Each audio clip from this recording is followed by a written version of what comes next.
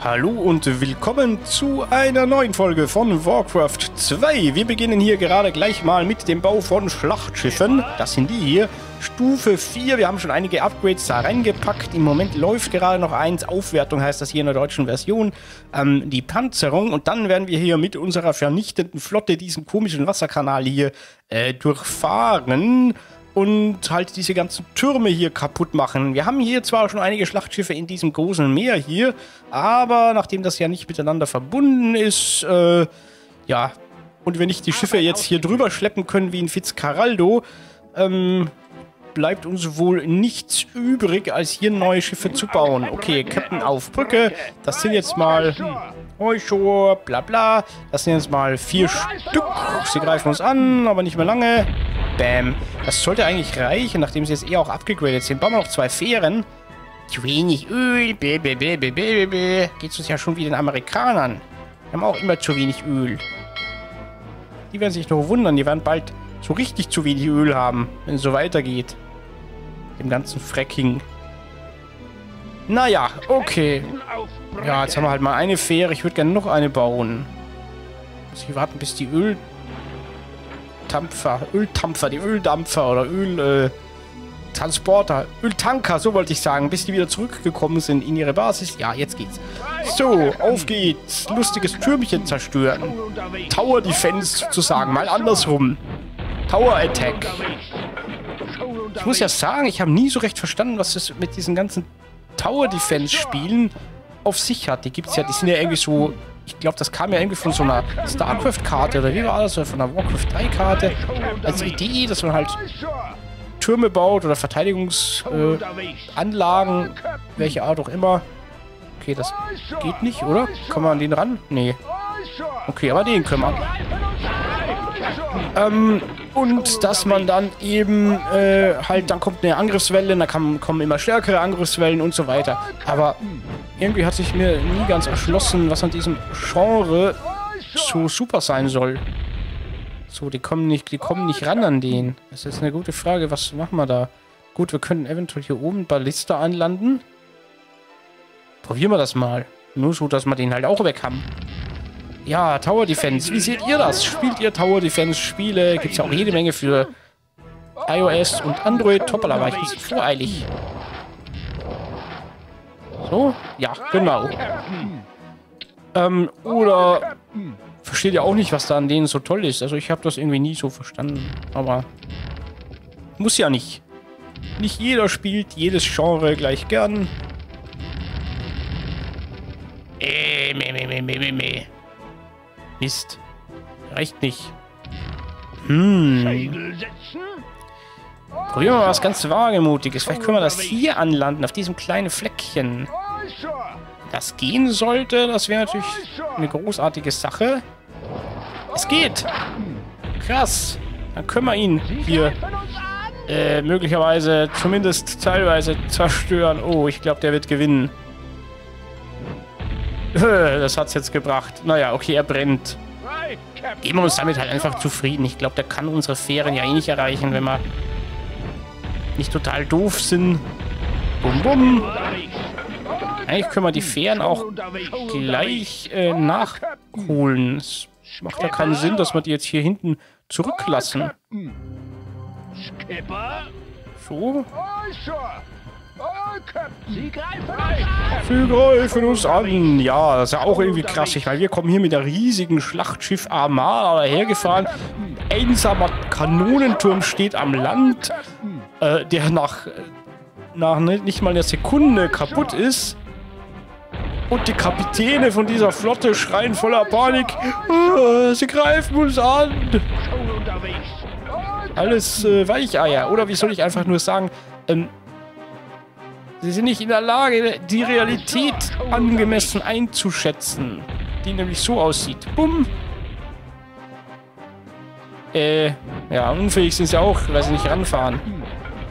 Ja, die nämlich so aussieht, dass der Turm nach kürzester Zeit kaputt ist. So, die Fähren. Holen wir die mal hier rüber. Oh, Captain. Captain Igloo kommt mit seinen Kanonenbooten. Bumm, bumm. sozusagen Kanonenbootpolitik. Das ist ein Begriff aus dem 19. Jahrhundert.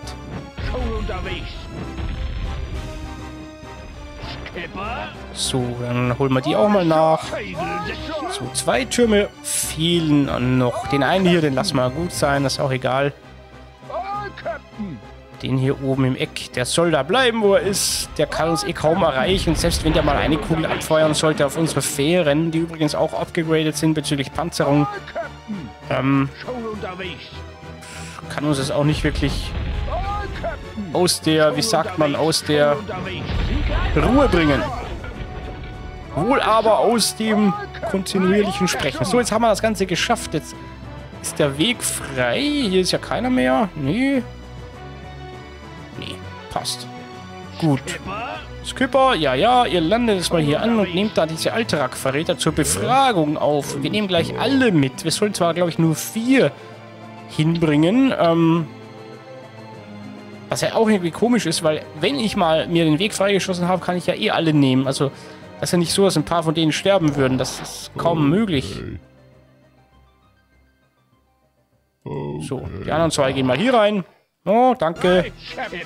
Sehr, äh, wie soll ich sagen, kooperative Verräter. Okay, die Schiffe können wir eigentlich hier lassen, weil die brauchen wir ja nicht.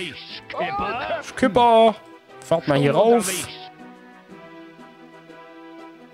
Ist halt jetzt ein bisschen langweilig. Jetzt müssen wir zusehen, wie die hier rumfahren. Lalalala. Dann muss man sie hier ausladen. Dann müssen sie hier wieder ein. Und Ach, übrigens, die Goldmine ist leer. Die bei denen allerdings auch. Zacken sie halt Holz. Erneuerbare Rohstoffe. Wobei das Gold geht ja eigentlich auch nicht weg. Ist ja nicht so, dass der, dass die 600 Gold, die ein Soldat kostet, ähm, dass die 600 Gold äh, sich in den Soldaten verwandeln. Die müssen ja, das ist ja quasi theoretisch dessen Sold oder so. Also irgendwie, wenn der gefallen ist, könnte man es ihm eigentlich wieder wegnehmen. Irgendwo muss das Gold doch bleiben. Wahrscheinlich liegt es in der Schweiz in irgendeinem... In irgendeinem Tresor oder so.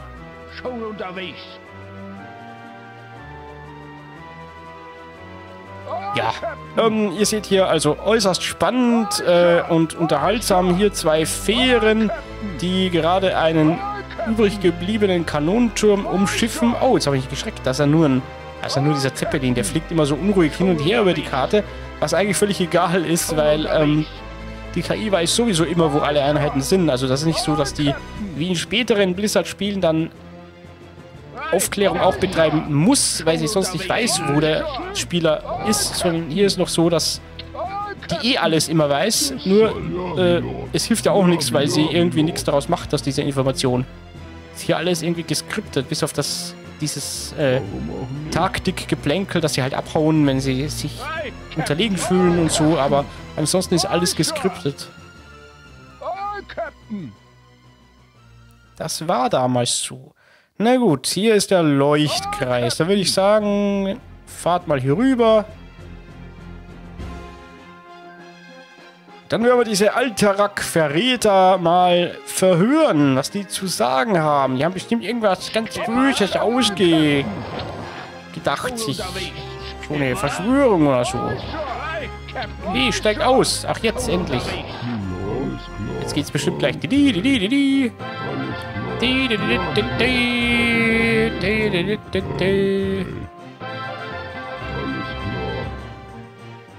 Ja. Sie sind siegreich. Ich speichere noch mal. Moment, das ist jetzt schon Aufnahme 5. Nicht, dass ich da irgendeinen Mist mache. Aufnahme 5. Ausgangssieg. Rang Kapitän. 67.275 Punkte. Wir sind Lordaeron. Das ist der Blackrock Clan gewesen. Und das ist der Storm Reaver Clan. Den haben wir ja einfach links oben liegen lassen. Weiter geht's. Lord Lothar lässt ausrichten, die Allianz wurde hintergangen. Ach echt? Lord Perinold, der souveräne Herrscher von Alterak, hat seit Anbeginn des Krieges gemeinsame Sache mit der Horde gemacht. So einer. Perinold, der die Orks über die genauen Marschbefehle der Elfentruppe bei Taran Mill in Kenntnis gesetzt hatte. Nein. Der Aufstand bei Tyrs Hand wurde von Spionen aus Alterak angezettelt, um von den dortigen Bergwerken der Orks abzulenken. Das Oh. hohe Kommando hat befunden, dass die Nation von Alterak Hochverrat gegen die Allianz begangen hat und von nun an als Kriegsgegner erachtet wird. Ach Wir ja. müssen alle befreien, die zu Unrecht von Paranold festgehalten werden und sie zur Unterstützung eines Angriffes auf die Hauptstadt von Alterac gewinnen. Na, aber klar doch. Okay, also das war jetzt ein bisschen äh, ein sehr ungewöhnliches Mission Briefing. Wir greifen jetzt Alterac an, das heißt, wir kämpfen gegen Menschen. Und da speichere ich jetzt gleich mal ab. Sicherheitshalber, weil ich weiß nicht, noch nicht so ganz, was da auf mich zukommt. Ähm, ich glaube, das ist schon Mission 11. Das sieht man irgendwie gar nicht. Naja, wir haben hier Demolierzwerge. Das ist eine coole Sache. Wir werden bald sehen, wie die funktionieren. Und wir haben den Magier. Jetzt haben wir einen Magier. Der hat auch so eine hallende Stimme, was bedeutet, er ist total wichtig und super und toll. Wir haben allerdings keine Arbeiter, glaube ich, gerade, oder? Was sind das für Blödsinn? Wir haben keine Arbeiter? Das gibt's doch nicht. Wie soll man jetzt anfangen, hier was abzubauen? Von der Goldmine. Äh, wie, wie, stellen die sich das jetzt vor? Eure Eminenz, Moment. Magier und Arbeiter befreien. Alterak zerstören. Okay, hier muss es irgendwo Magier und Arbeiter geben. Aber wo? Ah, ein bisschen Erkund Erkundschaftung. Okay, hier geht ein Weg rauf. Die haben ja zum Glück die Karten so gemacht, dass sie hier so Wege gemacht haben. Ah, das sind schon die Verräter. Kommt mit. Ich zeige euch was. Was ganz Tolles. Kommt nur. Bisschen näher noch. Hier ist es. Es ist ein sogenannter Hinterhalt. Ha! Edge, Edge. Hey, nicht abhauen. So ein schöner Hinterhalt und die hauen einfach ab. Was fällt euch ein? Ich habe mir extra Mühe gegeben. Ja. Wenn ich hören will, muss fühlen. Ich glaube, Alterak war hier oben. Das ist so eine Art wie eine, eine, Stadtbasis, so eine Basis, die wie eine Stadt aufgebaut ist. Ähm, Orks gibt es auf dieser Karte, soweit ich mich erinnern kann, kaum welche oder keine. Äh, ich weiß jetzt gar nicht, ob das eine gute Idee ist, was ich hier mache, aber... Pff, äh, mach ich, ich mach's mal, weil ich keinen anderen Plan habe. Moment, ich gehe doch lieber ein Stück zurück hier.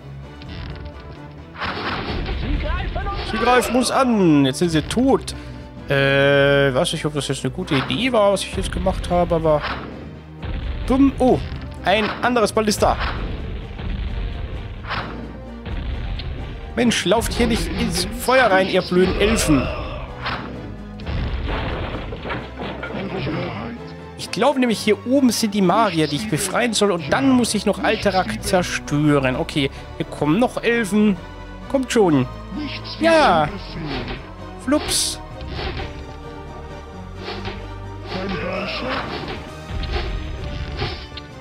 Oh, das könnte jetzt ein bisschen doof werden. Oh, das haben wir gerade noch hingebogen. Ja, ich würde sagen, da holen wir jetzt die restlichen Ritter-Dinger da auch noch, die wir da haben. Ja, wir hätten natürlich hier diese Demolierzwerge benutzen können. Das war jetzt ein bisschen doof, dass wir es nicht gemacht haben. Ähm, leider, das ist ja auch ein bisschen komisch, dass die, die Missionsbeschreibung hier so unzureichend ist. Dass es hier einfach nur heißt, ja, ähm, befreie die Arbeiter und, äh, was haben sie noch gesagt? Die Arbeiter und die, die, die Magier, aber irgendwie nicht so wo und wie und was und warum. Okay, da ist noch ein Ritter wünschen. Sofort. ja. Okay, das ist deren Haupthaus, aber das ist, glaube ich, nur so eine Mini-Basis. Sind die jetzt hier irgendwo? Moment, äh, ah, da oben, das, das dürften die sein, die wir befreien müssen. Schnell weg hier. Ey, ja, komm, hier kämpfen wir. Da, wo du nicht von deinen eigenen Türmen unterstützt wirst. So, okay, den Turm hier oben. Weißt du was, wir nehmen jetzt einmal dieses Demolierzwerge-Team oder eines davon. Die sind nämlich auch so putzig. Die muss ich noch ein paar Mal... Oder weit, weißt du was, das machen wir dann gleich. Erst jagen wir mal da was in die Luft. Okay, das haben sie uns jetzt... Das macht jetzt das Ballista für uns, aber... Holen wir sie mal hier, die Zwerge. Die sind nämlich ziemlich witzig und das ist so eine Art Selbstzerstörungseinheit. Wer, ähm, Dingens gespielt hat. Ja, sie greifen mich an. Mensch, meine Güte. Tun sie halt. Wundert euch nicht immer so. Wer äh, StarCraft gespielt hat, der kennt ja sicher diese Infested Terrans oder diese, diese Menschen, die halt so infiziert sind mit, mit äh, Zerg-Dingsbums und die halt dann deswegen ähm, zu leicht explosiv geworden sind und die man dann als Selbstmordattentäter verwenden kann. So ähnlich sind diese Zwerge hier. Demolierzwerge. Kabum! Ja, Turm überlebt das nicht. Andere Gebäude werden schon auch schnell beschädigt. So, die Frage ist, was ist jetzt hier oben noch? Sind hier noch Türme oder irgendwas? Und wenn ja, wie viele? Und vor allem, was ist da jetzt noch so? Hier sind Arbeiter. Na, sieht schon mal gut aus. Ah, hier sind die Arbeiter und die Magier, von denen gesprochen worden ist. Und Alterak ist hier oben. So ist das gewesen. Jetzt weiß ich's wieder. Die Frage ist, ist hier eine Goldmine irgendwo? Weil dann können wir gleich hier eine Basis aufbauen. Wenn nicht, dann... Ja, da ist keine. Nix. Dann befreien wir mal die Arbeiter, indem wir sie berühren. Und schaffen sie in unsere eigentliche Hauptbasis hier runter. Ich hoffe mal, dass die auf dem Weg jetzt nicht überfallen werden von irgendwelchen Wegelagerern oder so. Von irgendwelchen... Es scheint hier auch noch Orks zu geben, weil ich sehe hier immer so einen blauen Zeppelin rumfliegen. Ansonsten haben wir hier jetzt eigentlich nichts mehr verloren. Haben die jetzt gemacht? Nochmal hier kurz rübergelaufen. Nochmal noch mal schauen, wo sie gefangen waren. Oh, ich habe mich schon an diesen Ort gewöhnt. Die Teile hier, die, die Demolierzwerge, die schicken wir lieber mal hier runter, weil wer weiß, das ist nämlich so eine gewisse Gefahr, wenn die gegen Gegner rennen oder so, wenn hier ein Angriff kommt, dann laufen die sofort hin, die Angst in die Luft und die eigenen Einheiten auch noch mit. So, das Rathaus mache ich jetzt aber nicht kaputt, weil ich glaube, wenn ich das mache, dass dann möglicherweise irgend so ein Scripting-Event ausgelöst wird und dann der Gegner anfängt, mich anzugreifen. Das will ich verständlicherweise nicht. So, also rein in die Goldmine und in der nächsten Folge werden wir die zweite Zielvorgabe zumindest angehen. Ich weiß nicht, ob wir es schaffen. Wir werden Alterak zerstören. Ich glaube, es wird ein bisschen dauern. Die Karte ist nämlich relativ groß. Bis zur nächsten Folge. Auf Wiedersehen. Servus und Tschüss.